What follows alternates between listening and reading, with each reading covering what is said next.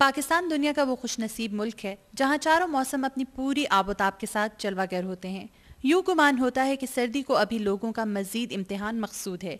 इसीलिए वो किसी रूठी हुई महबूबा की तरह अपनी झलक न दिखलाने की गोया कसम खाए बैठी है। ताहाल सर्दियों की आमद के कोई आसार दिखाई नहीं दे रहे।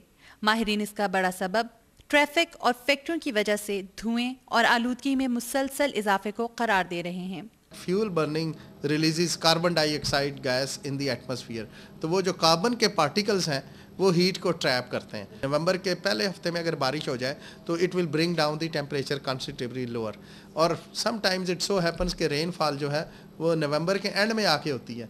तो जो अक्टूबर का है it will appear as if नवंबर का महीना इज़ बिहेविंग लाइक अक्टूबर सर्दी आने का एहसास ही लाहौर के बासियों के लिए लंबी और शदीद गर्मियाँ भुगताने के बाद राहत बख्श। है अल्लाह करे कि सर्दियाँ आएँ और सर्दियों में लोग बहुत इंजॉय करते हैं बहुत मज़ा आता है और गर्मियों में ये है कि अभी तक ये हाल है कि फ़ंक्शन में भी हम जाएँ तो वैसे ही मौसम है ए के बगैर रह नहीं सकते और बेहद गर्मी लग रही है शॉपिंग का भी मज़ा नहीं आ रहा।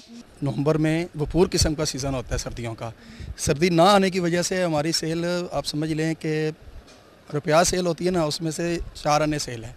नवंबर के 10-12 रोज़ गुजरने के बावजूद सर्दियों का आगाज़ नहीं हुआ है।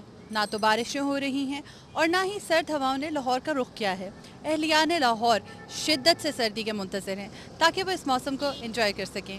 Madiha Anwar A R Y one world Lahore.